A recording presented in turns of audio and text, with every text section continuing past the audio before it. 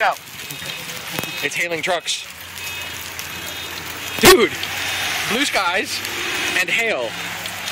What the hell? And Chris is uh, Chris is floundering out Yeah, there. it's been pouring like this for the last how long? So if your car's been open, you're fine. No. open, Kevin?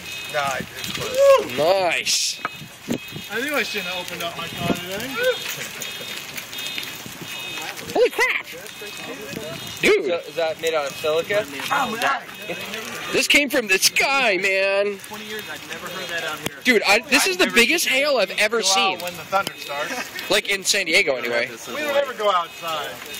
This is creepy.